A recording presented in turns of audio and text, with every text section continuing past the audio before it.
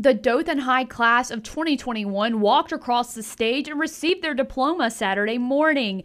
After two years of not being together as a class, they finally got to come as one for the greatest accomplishment of their high school careers.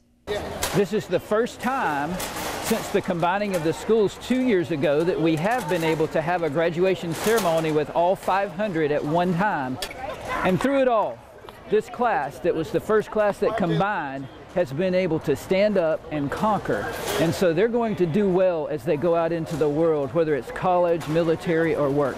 It's very surreal. I'm so excited to be able to be here with all my friends and my family and be in person. Um, it was a great experience and I'm so happy. With diploma in hand, these graduates have plans for life after high school and can't wait to begin this new chapter of their lives.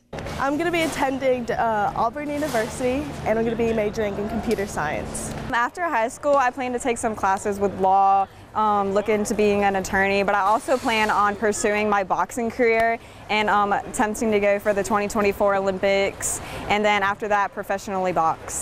And as these seniors close this chapter of their lives, Superintendent Dennis Coe has some advice he would like to share with the class of 2021. As we found this year, the world is ever changing and we have to be prepared for the unknown. And I think uh, their experiences with us the last few years will help prepare them for what lies ahead in the future.